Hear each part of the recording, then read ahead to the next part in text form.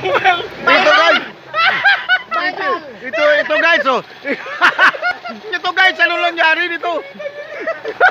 Ito. Ito. Sabing ikaw kasi, explosive. Oo, oo, sige, kita mo. Makyat na eh. Itsura mo yung damit mo. Thank you na. Oo. Wala. Sarado to. Hindi ba nakasara eh? Sarado na yan. Ayaw na. Umakyat na kanina? Oo.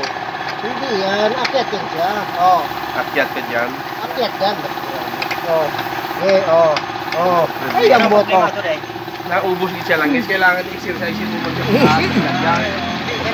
Pero, anong ito? Ito na resulta. Sabi tigil. Na wala na yun. Motor.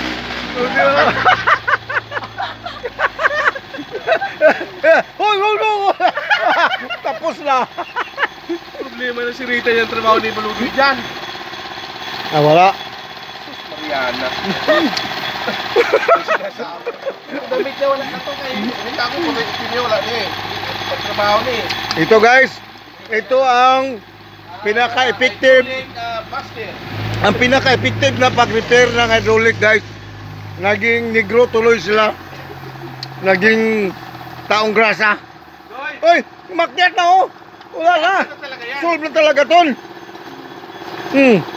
Ay. Doy, saan Doy? Saan na ba ito?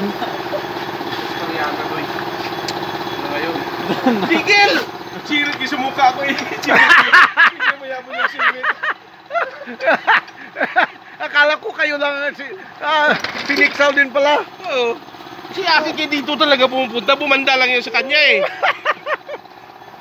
Ayan. Ano na lang gawin natin yan? Hmm. Tama na ton, maawa ka naman ton. Wala eh. Problema pala eh. Eh, i-release mo muna. Ayaw mag-release doon? Wag, wag, wag, wag. Hindi, hindi tunay. Ah,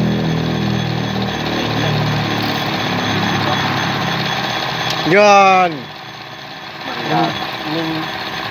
Muntik tuloy tayo makabiling bago. Naubos gina siya. Tapos pala ang pag